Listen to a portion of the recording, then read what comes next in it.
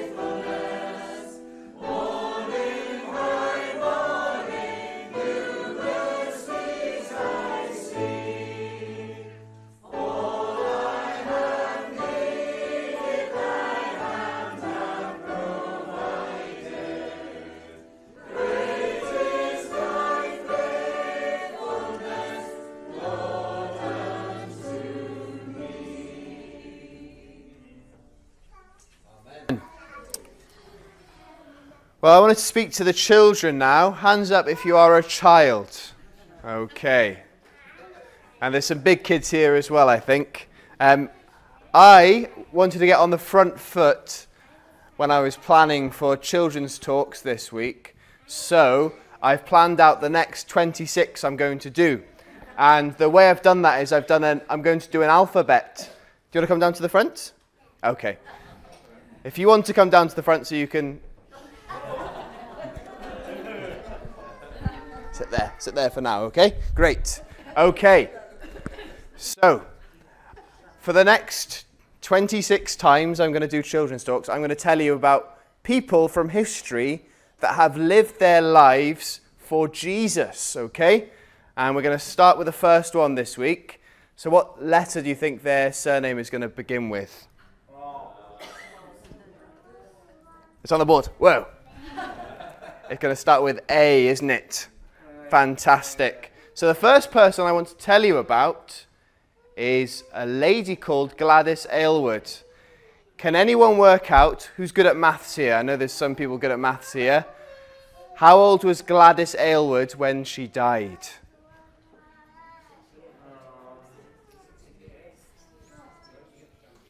She wasn't four. Not 54. She wasn't six. She was 68.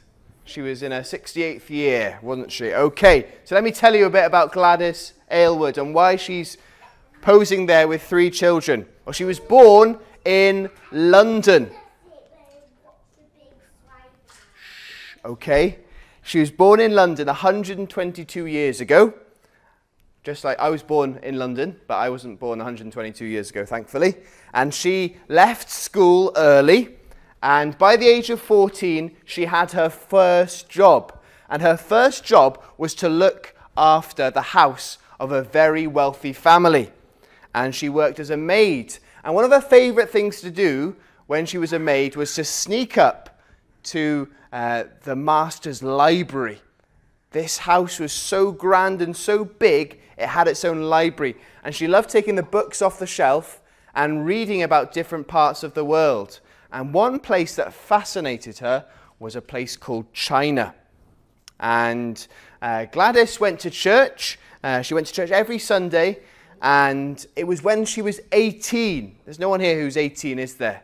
But when she was 18, her life changed forever because she heard a sermon, she heard a message in church about Jesus. And in that day, she put her trust in him. And it was that time she realized she wanted to go across the sea and tell other people about Jesus. And she went to the organization, when she was a bit older, she went to the organization that, that sends people to China. And uh, the director there was a very serious man. And he was sighing and he was shaking his head. And he said, You shouldn't have left school so early. That was a silly thing to do. And you're 26 now, so we've skipped a bit of time in the story. You're 26. You're far too old to be able to learn a new language. Now, who here can speak more than one language? No, can you? is anyone? Is it, is it quite hard to, to, to learn a new language? Would you say? Yeah, I'm sure it is. And the older you get, the harder it is for your brain to learn new things. So the man was very concerned that Gladys wouldn't be able to learn the new languages. So her dream was crushed. Uh, but she wouldn't take no for an answer, okay? And little by little, she saved up lots of money, penny by penny. And she saved enough money to travel all the way to China. Now, how do you think she got there? On a boat. Very good. She did go on a boat and she went on something else as well.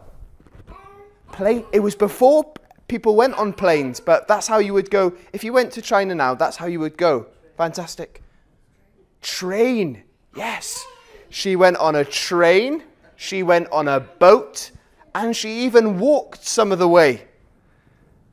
That was an amazing thing, isn't it? And when she told people that's how she was going to get to China, people laughed at her. They said it was impossible. Two years later, after lots of planning and lots of talking to people that knew what they were talking about, she kissed her family goodbye and she started the journey to China. And this was her prayer. She said, Here's my Bible, here's my money, and here's me. Use me, God. Use me. So she had a, a tiny amount of money left. She had her Bible, she had her pen, she had her tickets, she had her passport, and she carried a suitcase in each hand uh, with a saucepan tied to one of them and a kettle tied to the other with a piece of string.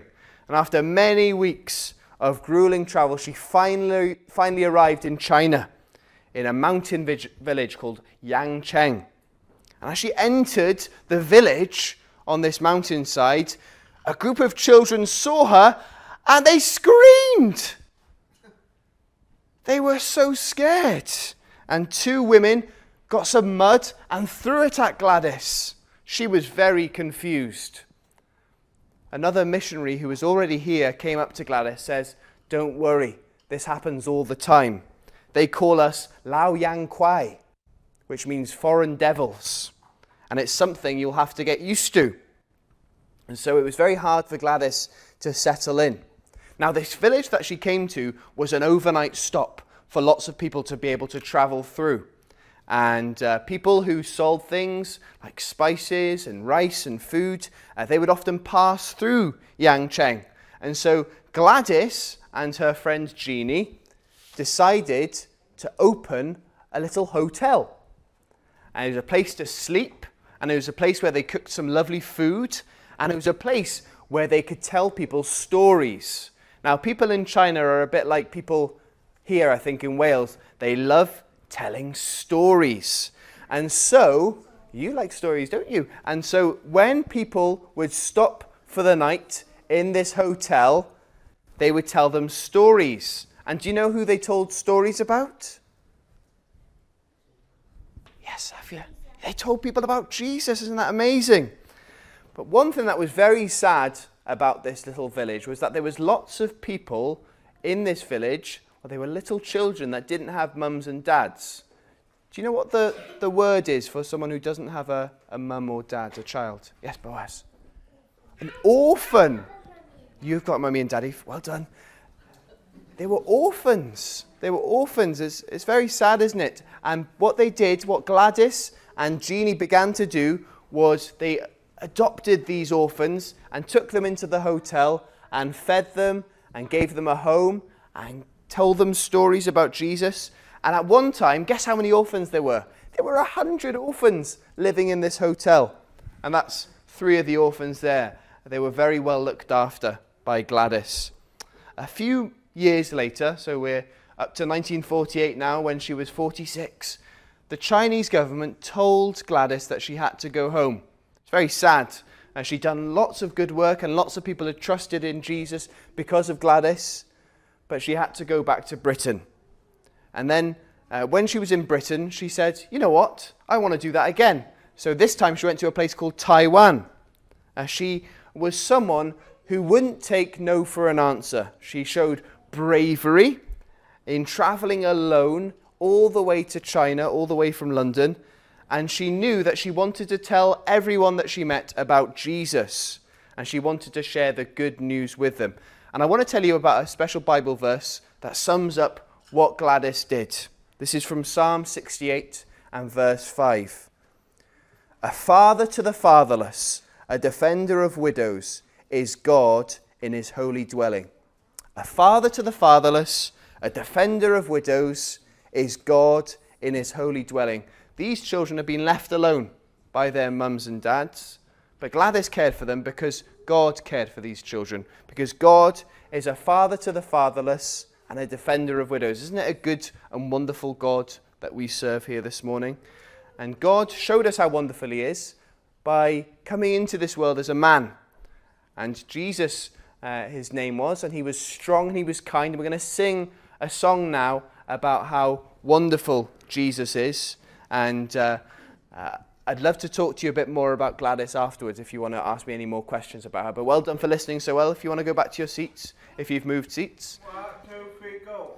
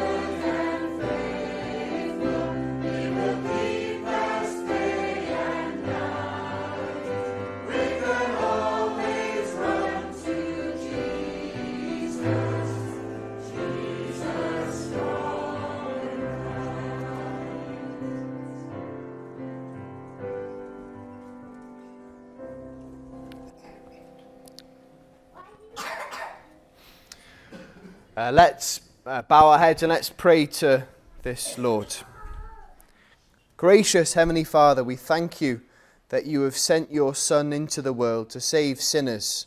We thank you that the Lord Jesus is strong and kind. Uh, we see strength in this world, uh, but strength that is, is cruel and merciless. Uh, we see uh, some kindness in this world, but it is often uh, with sinful motives, Lord. Uh, Lord, we thank you that you are strong and kind in every way, that you are perfect and you are holy. We thank you that we can come and worship you this morning.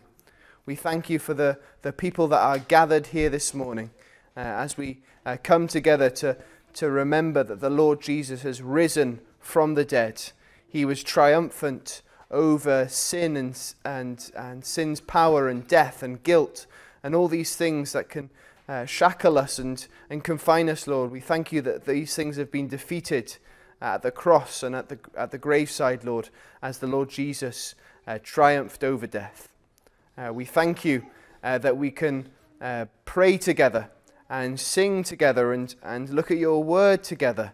Oh Lord, these are wonderful reminders of what you have done. And Lord, we thank you that you are, are working in us and through us, that the Holy Spirit is at work in the life of each and every Christian here this morning, uh, that we are being daily renewed to be more and more like the Lord Jesus Christ. Uh, we, we come before you now in, in confession. Uh, we are sorry uh, for all the times this week where we have, have run away from you where we have rebelled and our hearts have been cold. Uh, Lord, uh, we know um, better than, than others how uh, far we have strayed this, this uh, week, and you know uh, better than, than we do ourselves, and yet, uh, Lord, you are willing to forgive.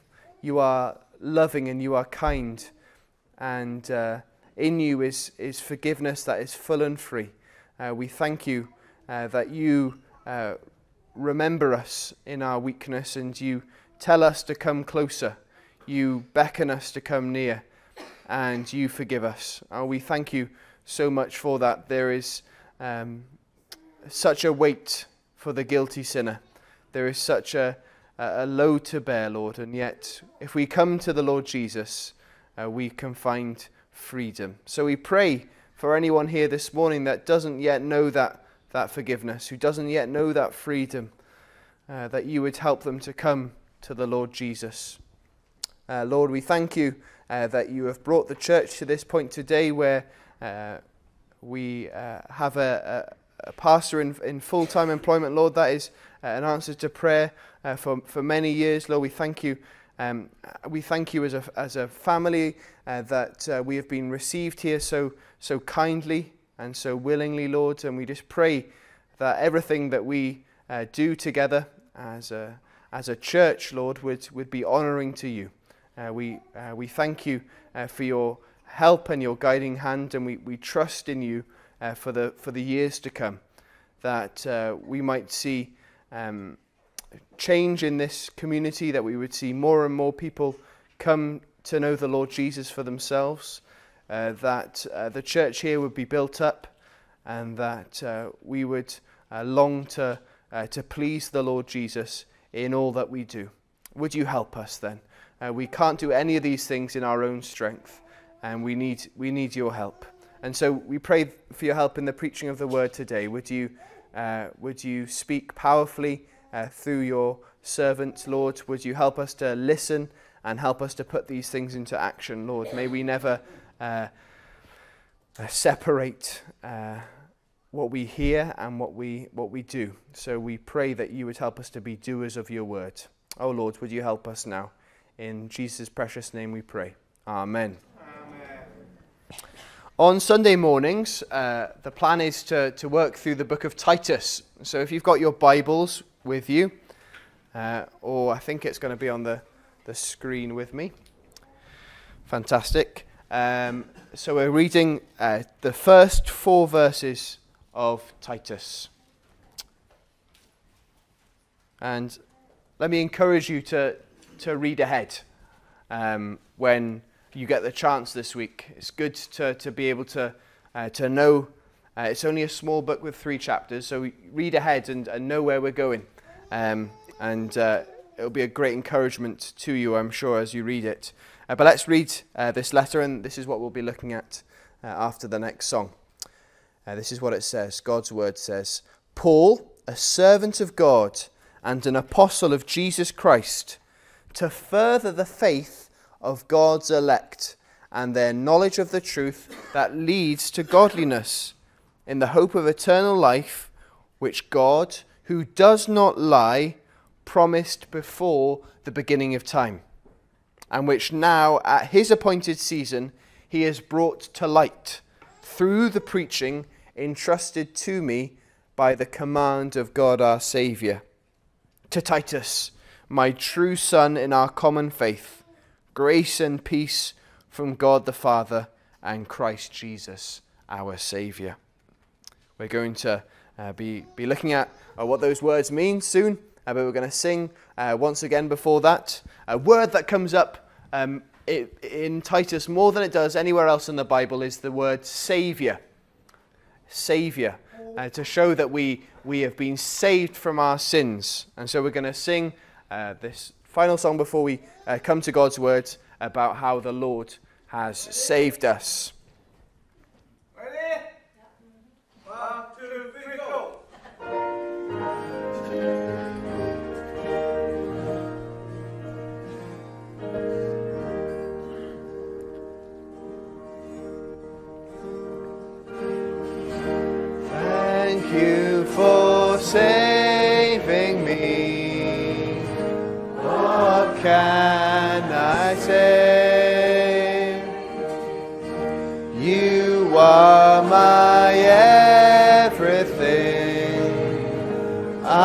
Sing your praise. You shed your blood for me. What can I say? You took my sin and shame, a sinner called by name.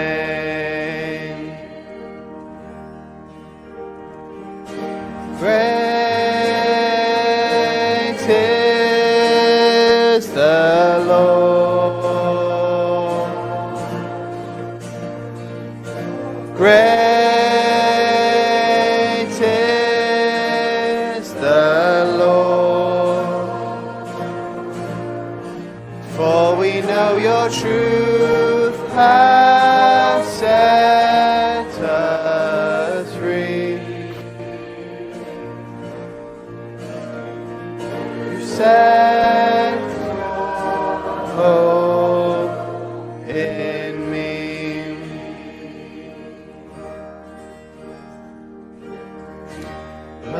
Mercy and grace are mine, forgiven is my sin.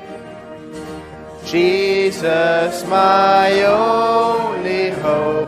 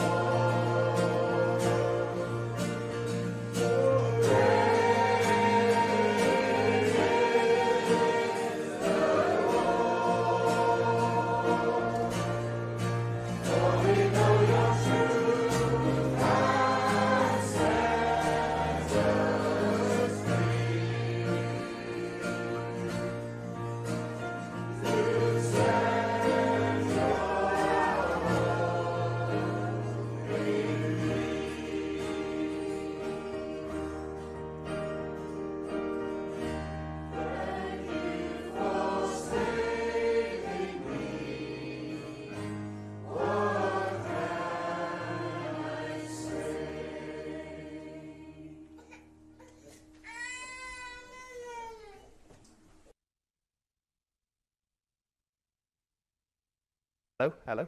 Great, thank you. Um, you can imagine, can't you, at uh, the mission headquarters, and uh, when they're divvying up the different responsibilities that everyone has, and they tell someone that they have to go to Crete. You can imagine the person that volunteers would feel slightly guilty, saying, Somebody's got to go. Uh, someone's got to go to this, this kind of paradise, uh, kind of like island. Um, but as we pick up this short letter that we find in our New Testament and we delve a little deeper into some of the things that were going on in first century Crete, we will soon realize how challenging a job this was going to be. This would be a, a really difficult mission. It was no day at the beach.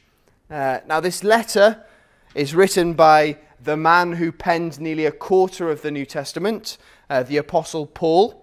And if you're new to church or you want to refresh your memory, uh, then you can read his amazing story in the book of Acts. Uh, there in that story, uh, in that historical account of this man, Paul, or sometimes known as Saul, uh, we see a man who went from uh, being the, the church's most violent oppressor to being the busiest evangelist there was. Um, from throwing people into prison to being thrown into prison himself for the sake of the gospel. And despite his many gifts and his passion for telling others about Jesus, uh, Paul was not a one man team, was he? Far from it. Everything that he did was empowered by the Holy Spirit. And Paul himself, of course, only could be in one place at one time. And so he had to be strategic about where he was. And so he therefore sent people out into different parts of the world, people that he trusted to go into the mission field. And Titus was someone that Paul clearly trusted. He was Paul's troubleshooter, someone that he called upon when there was a really difficult situation. Over the course of the New Testament, uh, we know that Titus was sent to a number of difficult places that needed special attention. Uh, we don't know much about Titus's background, but we find his name dotted around the New Testament. Uh, we know that he was a Gentile, which means that he wasn't a Jew. And he was possibly even from Crete. And we know that he was led to faith by Paul. Uh, we know that he was sent to Corinth for a certain amount of time. Uh, it's in the second letter to the Corinthians that uh, Titus's name comes up again and again. Uh, you'll see his name crop up a number of times. And the last mention of Titus in our Bibles is in 2 Timothy, uh, where uh, we are told that Titus has gone to Dalmatia, an area which we know today as Croatia. Uh, so Paul trusted this man. He calls him my partner and fellow worker in 2 Corinthians 8. Um, and knowing the difficult situations in both Corinth and that we will see later on in this book in Crete, we can gather then that Titus was a trustworthy man. He was a believer who could deal with difficult problems uh, with insight and with patience and with grace. Uh, we read in Corinthians. Crete uh, weren't an unreached people group. The, uh, if you read Acts chapter 2 and, and the uh, the sermon Peter preaches on Pentecost, it tells us there that there were Jews from Crete there uh, that had made the journey to Jerusalem for the Passover. So uh, th- they had heard uh, some of the good news. Uh, but the reason why, why is. That's all right. So I'll start from the beginning. So the reason why the people of Crete uh, were particularly difficult to reach was because of how entrenched the island was in their pagan worship. So, according to Greek mythology, Zeus, who is the, the main chief god in Greek mythology, he was supposedly born on the island of Crete. So, one of Paul's aims in this letter, as we read it, is to show us that the true God is so very different to the false gods that the island was worshipping. Now, whereas Zeus was a, a made up god, uh, a, a, story made by men uh, about a man who became God, Jesus was the true God who became man. The other aspect that Paul wanted uh, to convey was God's perfection, his holiness, and his goodness. You see, uh, Zeus uh, was a, a, god with a, with a small g, uh, being made in the image of those who dreamt him up. Uh, the tales about Zeus show him to be violent and lustful and a liar. And Paul wants to show the people of Crete what the true God is like, how he is perfect and good. And my hope is that as we look at this letter, we will see that the message that Paul had for Titus is as applicable to 21st century Clydach as it was to first century Crete. And the overarching theme I want to have, and the title that I've given this series, is Belief and Behavior.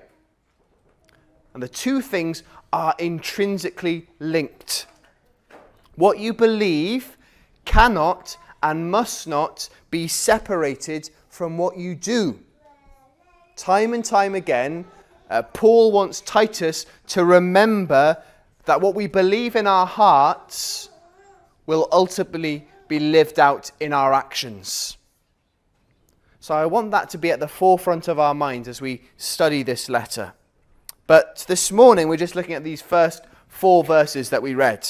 And if you've got your Bibles open, that would be really helpful. And I want us to see four things this morning, okay? Four things. Uh, the first of these things is there in verse 1 that truth leads to godliness. Truth leads to godliness. Uh, this is what verse 1 says uh, Paul, a servant of God and a, an apostle of Jesus Christ, to further the faith of God's elect and their knowledge of the truth that leads to godliness. Truth leads to godliness. Truth leads to godliness. How can that be? Well, it depends, doesn't it, on what your life is built upon. Uh, Jesus said, didn't he, I am the way, the truth, and the life. No one comes to the Father except through me. And it's only through having our, our lives built upon the rock, upon Jesus Christ, that we can be godly by coming to him daily uh, for all our needs. That's how we will become more godly, isn't it? How we will become more and more like Jesus. So, what is the opposite of that? What is the opposite of having our lives built upon Christ? Well, that's what was happening in Crete and what was happening around us today. You see, whereas Jesus is unchangeable, he is the same yesterday, today, and forever. He is consistent in every way. His words cannot be changed. Uh, for the uh, Cretans, as it is in, in our society today, truth is seen as optional, isn't it? Everyone has their own truth. Everything is fluid, it is subjective. People pride themselves on their freedom to choose what they want. We get to choose what is right and wrong. And ultimately, the lie of subjectivity, of, of saying that there's no truth, leads to immorality. And when there's no outside source of godliness and goodness and justice, then we become our own judges, don't we? And we see this at play in our own society today. Uh, when people remove the goodness and the clarity and the truth of the Ten Commandments, say, a standard for morality set by God, then there's confusion. Because the whole of life is lived in this grey area where uh, people don't know what is right and wrong because they just want to do what they want to do. There isn't a definitive right and wrong because everything is decided on how we feel. People do what they want, how they want, when they want, thinking that it will achieve happiness and fulfillment. And yet, are people any happier today? I don't think so. I think, if anything, people are sadder and more confused and more broken. So, why does it cause pain? That's because there's no such thing as subjective truth. There's no such thing as, as your own truth. There's, there's truth and there's lies. Uh, John Benton, a, an English preacher, he said this It is not a matter of opinion that a tablespoon of poison will kill you. It is objective truth. And if you were to try and live as if this were not true, you would soon die. You see, the world is not all a matter of opinion, the truth exists. So, of course, there are things that you can have an opinion on. Uh, we can't apply the same logic that we do with truth with things like f- food and music and fashion and, and uh, whatever it might be. Your taste in those things might differ to mine. Uh, you might think uh, a certain shirt looks nice, and I might disagree with you. Uh, you might like a, a, song that plays on the radio, and I might think it sounds rubbish. Uh, but we cannot extend that sort of approach with morality. And sadly, this is how the world works today, as it was in Crete. They thought they could believe one thing and live a life that didn't reflect that at all. Uh, they saw truth as this, as this very fluid thing. So this morning, our call is to remember that God is a God of truth. And when we hold fast to God and the fact that He cannot lie, as it says later on in verse 2, we can have great confidence, can't we? We have something concrete to hold on to. Our faith is not a matter of opinion, is it? It is true. It is not something that may be disproved tomorrow. It's not something that may change with the times and seasons. It was as true 2,000 years ago as it is today. So that's the first thing this morning. Truth leads to godliness. Uh, secondly, look at verse 2.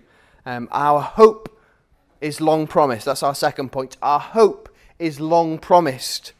Uh, the second thing I want to consider this morning is, is this. When we read verse 1 and 2 together, it says, Paul, a servant of God and an apostle of Jesus Christ, to further the faith of God's elect and their knowledge of the truth that leads to godliness, in the hope of eternal life, which God, who does not lie, promised before the beginning of time.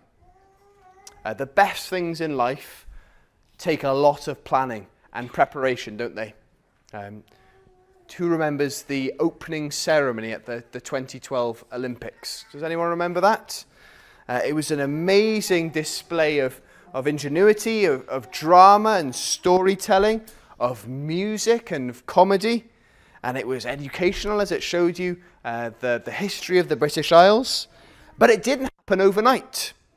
Uh, people didn't show up and improvise this great display. Uh, the film director Danny Boyle was asked two years before whether he would be willing to direct it. And it took months of planning, and there was a 27 million pound budget, and there was tens of thousands of people involved, and there was hundreds of rehearsals. And when we watched it on our tellies, it was staggering.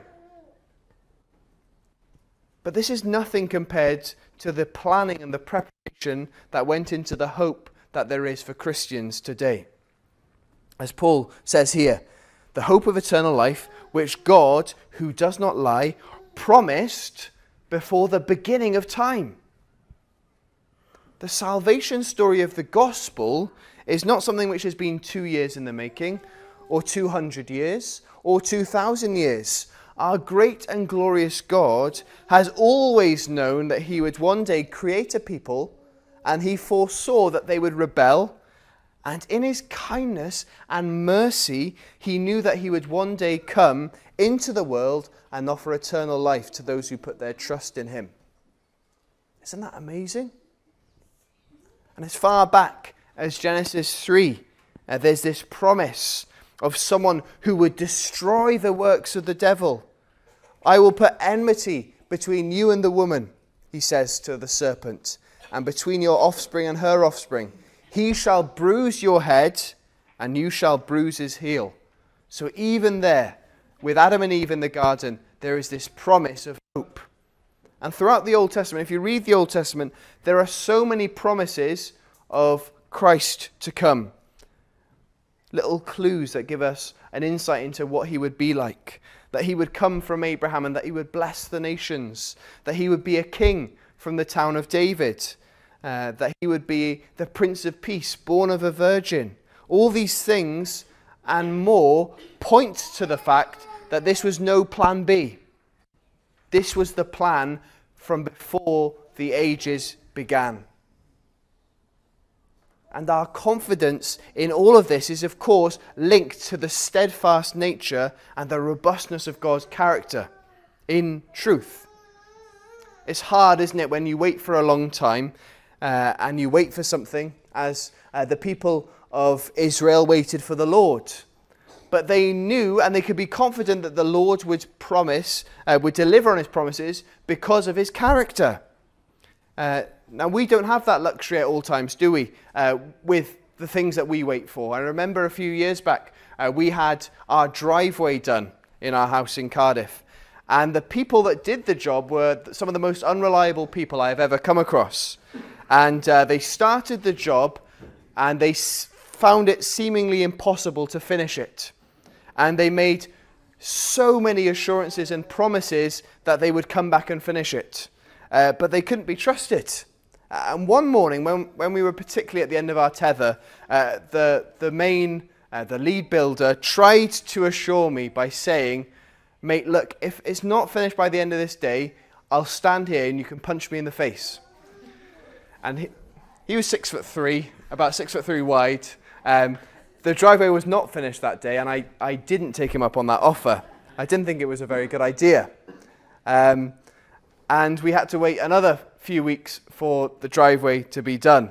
Uh, and it was painful, that wait uh, for a resolution, to, a resolution to come because we couldn't trust the person in charge. We didn't know if he would actually come true with his promise. Um, but we have hope when God makes a promise because he cannot lie, it says. If he says something, he means it. If he starts something, he will finish it. As we read, and I am sure of this, that he who has begun a good work in you will bring it to completion at the day of Jesus Christ. So uh, that is our second point this morning. So, thirdly, I want us to look at verse 3. The third thing is that preaching is powerful. Uh, the third thing I want to tell you is how this message has been shared. So, yes, it's been planned and promised before the world has begun, but there in verse 3, we read this, and which now, at this appointed season, he has brought to light through the preaching entrusted to me by the command of God our Saviour. So, God has been at work from before the beginning of time, and a proper time, it says, uh, uh, these things became clear or, or manifested. And it reminds us a little of Galatians chapter 4, doesn't it? But when the fullness of time had come, God sent forth his Son, born of woman, born under the law. So it's telling us Jesus came into the world at the perfect time. It was no mistake, it wasn't a coincidence. Everything that had come before and that would come after was a result of God's perfect sovereignty and wisdom. Yes, the wait was long, but in God's perfect wisdom, it was the right time. But notice too what the third verse says. Yes, the truth has been manifested at the right time, but here we see how God communicates his message. Look there in verse 3 it's through the preaching of his word. When you come to church, we do a number of things, don't we? We sing together, and we pray together, and we come around the Lord's table, and we have a, a lovely chat and a cup of tea together and encourage one another. But the biggest chunk of the service is taken up by the preaching of God's word, isn't it? And that's because preaching is powerful. Uh, God speaks and works through faithful preaching. And we see that throughout the Bible. We're told why Jesus appointed 12 disciples to aid him in his work. It says, He appointed 12 that they might be with him and that he might send them out to preach. What does Paul say in 1 Corinthians? For Christ did not send me to baptize, but to preach the gospel, and not with words of eloquent wisdom, lest the cross of Christ be emptied of its power. What does Paul say to the church in Philippi? He says, But what does it matter? The important thing is that in every way, whether from false motives or true, Christ is preached. And because of this, I rejoice. Yes, and I will continue to rejoice. What are Paul's final instructions from, from the, the prison cell that he probably would go and be executed from? Uh, he says to Timothy, Preach the word. And possibly the most important verses on the matter in Romans 10, Paul says this For the scripture says, Everyone who believes in him will not be put to shame. For there is no distinction between Jew and Greek, for the same Lord is Lord of all, bestowing his riches on all who call on him.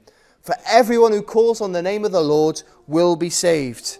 How then will they call on him whom they have not believed? And how are they to believe in him of whom they have never heard?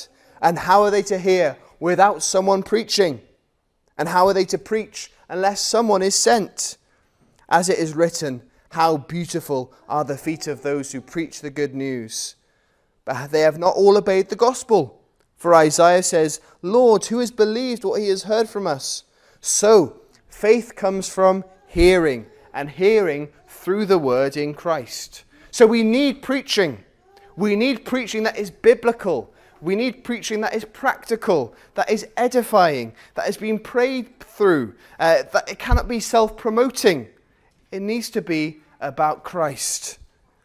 It needs to tell us that we are sinners in need of a Savior. It needs to proclaim that Christ Jesus loves sinners and that he was willing to die in their place. It ought to tell us about the resurrection and the ascension and how Jesus conquering death can give us hope for the future. When a good sermon is preached, Jesus will increase and we will decrease. Why does preaching make a difference in people's lives? This is what Martyn Lloyd-Jones had to say. Because it addresses us in such a manner as to bring us under judgment. And it deals with us in such a way that we feel our whole life is involved. And we go out saying, I can never go back and live as I did before. This has done something to me. It has made a difference to me. I am a different person as a result of listening to this. That's amazing, isn't it? That's what biblical preaching will do. It will transform lives. It will convict us of our sin. It will turn weeping into joy. It will open blind eyes and it will raise the dead to life. That is what spirit filled preaching can do. And that is what Paul did. And that is what Titus would do on Crete. And my hope is that what will happen in Bethel as well. And fourthly and finally, we will see that truth breaks down barriers. Uh, when we reach verse 4, uh, we are eventually told, aren't we, who this letter is addressed to. Uh, when we write letters or send emails, uh, we, of course, address the person that we are writing to at the very top. Uh, in the first century, the person who wrote the letter introduce themselves at the beginning, which I think probably makes a bit more sense, doesn't it?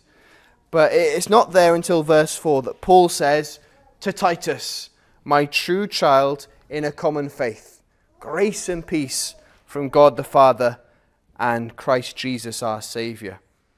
And what strikes us is that uh, Paul calls him my true child in the faith. We're all very different, aren't we? If you look around this morning, uh, we're from different backgrounds, different experiences. Uh, we're men, we're women, we're boys, we're girls. Uh, we look different, we speak differently. Uh, our histories, our upbringings are all different. And this past week has been different to you as it's been different for me. Our temperaments and our personalities are all different. But there is one thing that unites us all as believers, isn't there? That's the Lord Jesus. And, and that's the common faith that Paul and Titus had. Uh, Paul was the Jew of Jews. He was circumcised on the eighth day. He had the most religious upbringing you can ever imagine. He has studied the law given uh, by God through Moses. He went to the temple and to the synagogue. Titus was a Gentile, uh, possibly from a pagan background. And yet, now they were on the same side. They had the same ambitions. They shared a common goal to see people come to know the Lord Jesus for themselves. So, as I finish this morning, let's remember what unites us as a church. It's the Lord Jesus Christ, isn't it? And I'm so thankful that we can be united around the same person. So may everything that we do as a church be a reflection of the Lord we serve. And to quote from Paul's words in the letter to the Galatians there is neither Jew nor Gentile, neither slave nor free, there is neither male or female, for you are all one in Christ Jesus. That is what we are, brothers and sisters. Uh, we are united by the blood of Christ. So let's build one another up. Let's encourage one another. Let's point each other to Christ, who is God become man, who has been promised from before the world began and has saved us from our sins. And as we explore this letter, my hope is that we will all be encouraged and challenged. Let's pray together. Gracious Heavenly Father, we thank you so much that you are worthy of all our praise and more. We thank you that you are the God who saves, that you are the God of truth. Uh, we thank you uh, that uh, we can put our trust in you and uh, that uh, you never lie. And uh, the promises that you have made from before the beginning of time, you will stick to. You are faithful and you are good. So, Lord, would you help us to take these things in? As we explore this book, Lord, we pray that our belief and our behavior would be entwined, that everything that we do uh, would match up with what we uh, say that we believe. Lord, we know that this is impossible by our own uh, human endeavors. We need the Spirit to work in us. Uh, Lord, would you help us? Uh, we pray all of these things in Jesus' name. Amen. Uh, we're going to close this morning by singing uh, a song of praise to our God. So let's stand if we're able and sing Glory be to God the Father.